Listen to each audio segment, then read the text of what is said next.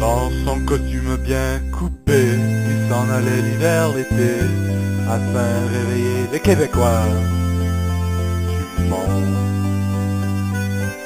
Avec une minute d'antenne, on en faisait un croque-mitaine, on disait qu'il avait la haine.